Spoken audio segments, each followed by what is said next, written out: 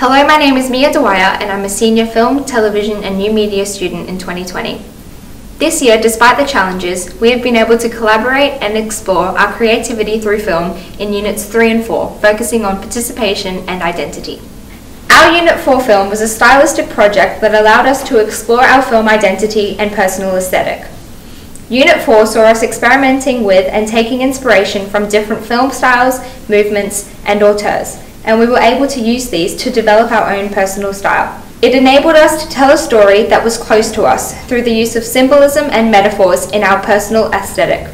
As film students, we were able to adapt to our situations and experiment with different techniques to create outstanding productions despite all difficulties.